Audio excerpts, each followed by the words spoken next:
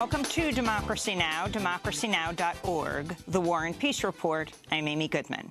The United States is expected to introduce new sanctions against Russian companies with links to Syrian leader Bashar al-Assad following the coordinated U.S., British and French military strikes against two chemical weapons storage facilities and a research center in Syria on Friday night.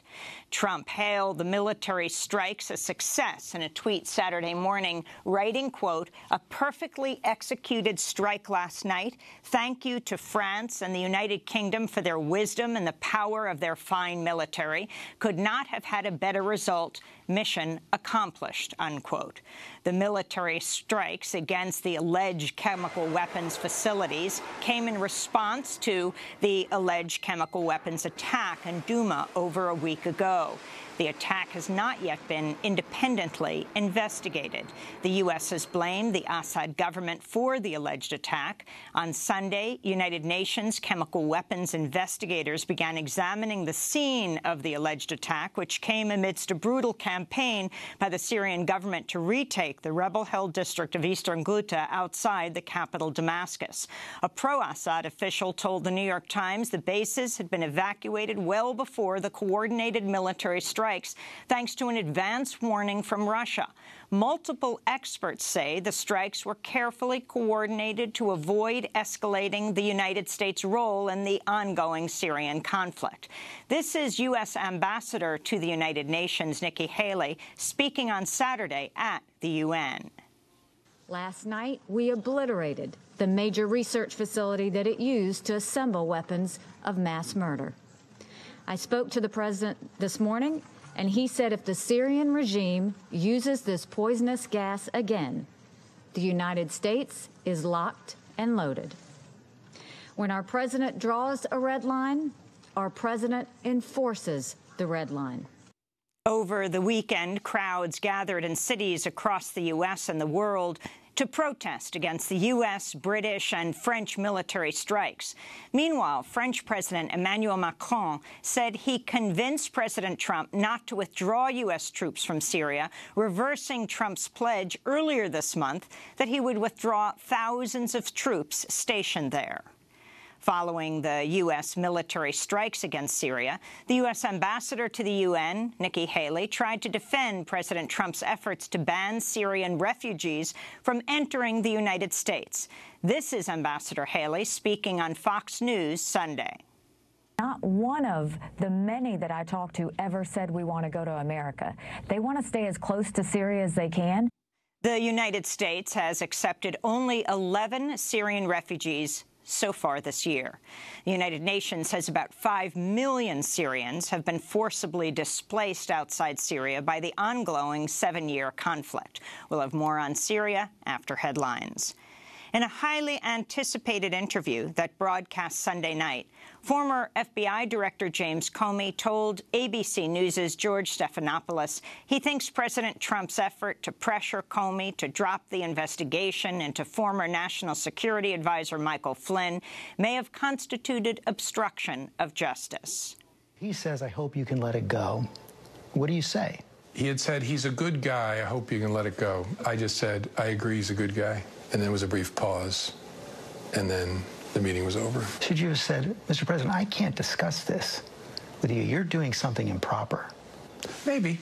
Although, if he didn't know he was doing something improper, why did he kick out the Attorney General and the Vice President of the United States and the leaders of the intelligence community?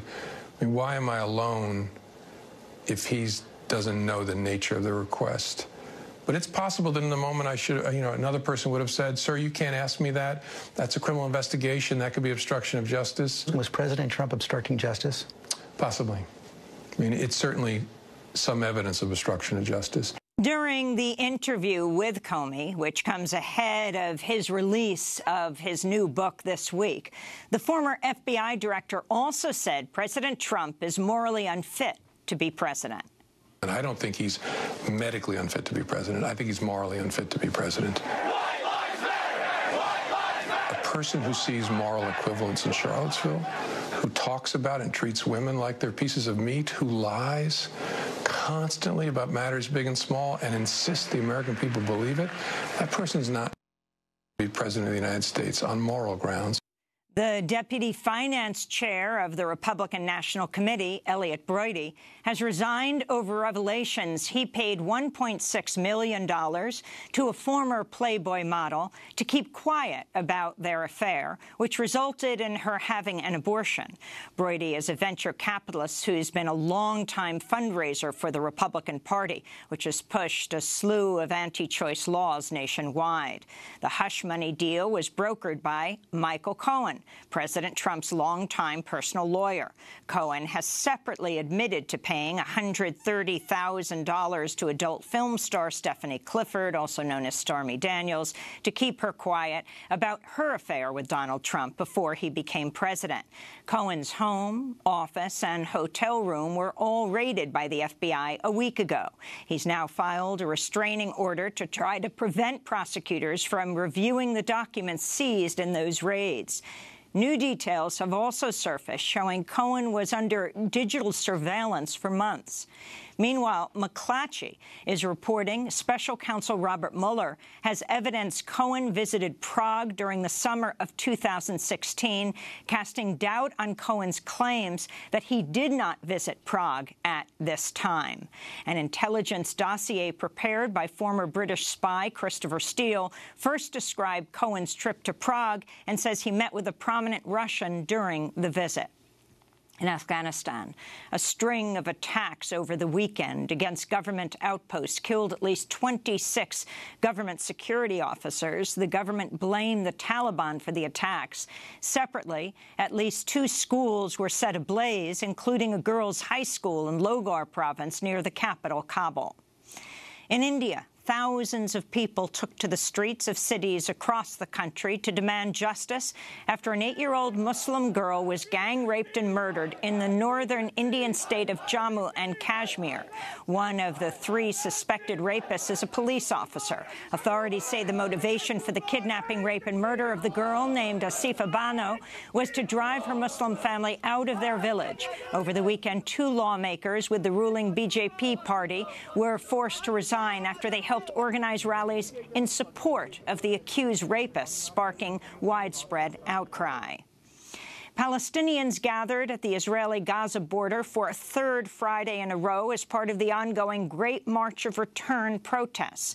Paramedics say at least 30 Palestinians were injured by Israeli soldiers during Friday's protest. Israeli soldiers have killed at least 34 Palestinians since the wave of protests against Israel's occupation began on March 30th.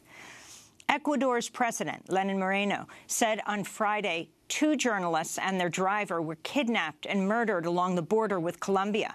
The reporter, Javier Ortega, the photographer, Paul Rivas, and their driver, Efrain Segarra, were working for the daily newspaper El Comercio at the time of their kidnapping, March 26. Ecuador is blaming a Colombian rebel group called Oliver Sinisterra Front for the murders.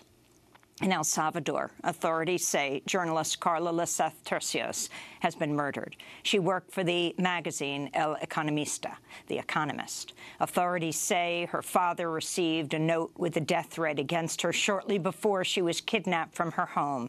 Her body was later found along the side of the highway. In Barcelona, Spain, hundreds of thousands of demonstrators poured into the streets Sunday to demand freedom for Catalan political prisoners, among them nine Catalan leaders who are facing trial on charges of rebellion after they helped organize a referendum on Catalonia's independence from Spain last October.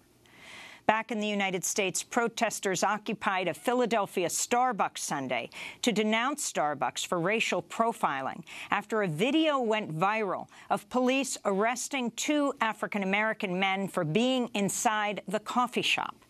Their lawyer says the two men were waiting for a third person to arrive for a business meeting when a Starbucks employee called the police and claimed the men were trespassing. Starbucks CEO Kevin Johnson has apologized, calling the incident reprehensible. More protests are planned at the Starbucks this morning. In Denver, Colorado, Hundreds of teachers are expected to rally at the state capitol today as the wave of teacher protests continue to spread nationwide. Meanwhile, the Oklahoma Education Association says it's ended its nine-day strike over funding for education, and teachers in Kentucky also swarmed the state capitol Friday to protest cuts to education there. Kentucky Governor Matt Bevin has been forced to apologize after he tried to attack the teachers teachers' protests by saying, quote, I guarantee you somewhere in Kentucky today a child was sexually assaulted that was left at home because there was nobody there to watch them. In South Carolina, authorities say at least seven prisoners are dead and 17 more have been wounded after a riot at the Lee Correctional Institution in Bishopville. It's the latest of a series of riots in recent years at the maximum security prison in South Carolina. In Alabama, an African-American teenager named Lakeith Smith has been sentenced to 30 years in prison for the murder of 16-year-old A'Donte Washington, even though it was a police officer who shot and killed the teenager in 2015. Lakeith Smith was tried and convicted under Alabama's accomplice law, which allows authorities to prosecute people for murder if a death occurs in the midst of a felony. He and A'Donte Washington were, along with other teens, allegedly carrying out a burglary when a police officer opened fire and killed Washington. A grand jury has cleared the police officer who actually killed the teenager of any responsibility. In New York City, a prominent gay rights lawyer named David Buckel died after setting himself on fire as a protest against climate change. In a handwritten suicide note found next to his body in Prospect Park, Brooklyn. He explained he doused himself in fossil fuels before lighting himself ablaze as a metaphor for the destruction of the planet. He also emailed news outlets a statement that included, quote, most humans on the planet now breathe air made unhealthy by fossil fuels, and many die early deaths as a result. My early death by fossil fuel reflects what we are doing to ourselves, unquote.